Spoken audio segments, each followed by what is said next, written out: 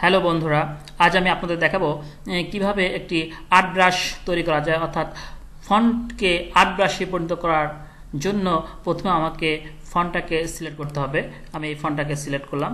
Select করে object object থেকে expand এরপর অবজেক্ট ফিল ঠিক থাকবে এবং এরপর ওকে দিতে হবে। ওকে দিলাম। এখন ফোনটি আমার ভেঙে গিয়েছে। এখন এটাকে সিলেক্ট করে ব্রাশ ব্রাশ অপশন আমি নিয়ে ছেড়ে দিলাম।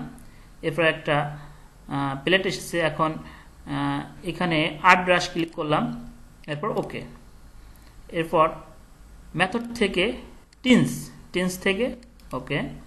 এখন আমার এটা আর্ট ব্রাশ তৈরি হয়ে গেছে। এখন আমি এটাকে সিলেক্ট করে ব্রাশ দিয়ে যেভাবে আমি আঁকাবো, সেভাবে আমার এই ফন্টটা ঘুরে যাবে বা সেরকমই লেখা হবে। ওকে। সিলেক্ট করে ডিলেট। এরপর যদি আমি এটাকে পেন টুলের মাধ্যমে নিতে চাই, তাহলে পেন টুলটা আমি যেভাবে সাজাবো, আমার ফন্টটাও সেভাবে সাজবে বা সেভাবে চলে যাবে।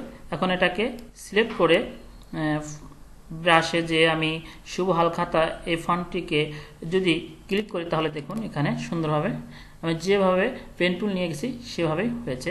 এরপর এটাকে ডিলিট করে দিলাম। এখন যদি আমি ওভাল দিয়ে বা এলিপিস টুল দিয়ে যদি এটাকে আমি সাজাতে চাই, তাহলে এটাকে অর্ধেক কেটে দিই। ওকে। ওকে, এখন ডিলেট এখন আমি এই মাঝখানের বা এই গোলাকার অংশটুকু যদি সিলেক্ট করে ব্রাশে শুভ হালকাতায় ব্রাশটিকে ক্লিক করি, তাহলে দেখুন এরকমই সাজানো হয়ে গেছে।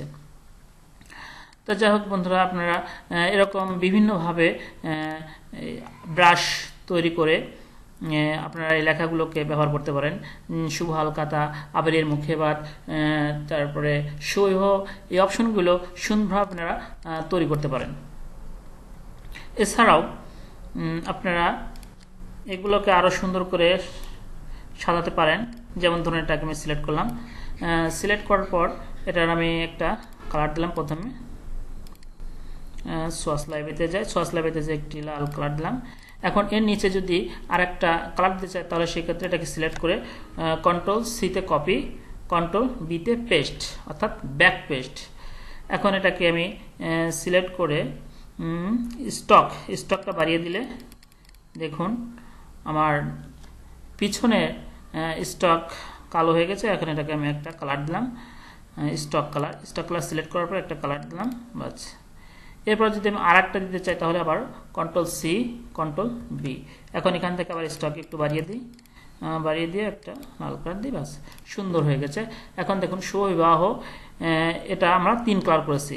এখন এর যে মাথাগুলো আছে, অনেক চুক্কা চুক্কা, এগুলোকে যদি আমি সমান্তরালভাবে বা গোলাকার দিতে চাই, তাহলে পুরোটাকে সিলেক্ট করব। সিলেক্ট করে স্টক এখানে দেখুন স্টক অপশনে ক্লিক করার পর, এখানে রাউন্ড রাউন্ড জয়েন দিয়ে দিলে আমার শুভ বিবাহ অপশনটুকু গোলাকার হয়ে যাবে। এভাবে আপনারা আপনাদের সুবিবাহ মুখে ভাত, গায়ে হলুদের বিভিন্ন স্টাইল করতে পারেন। ব্রাশ তৈরির মাধ্যমে বা সরাসরি বিভিন্ন কালার ব্যবহার করে। তো ওকে সবাইকে শুভেচ্ছা স্বাগতম জানিয়ে আজকে টিউটোরিয়াল শেষ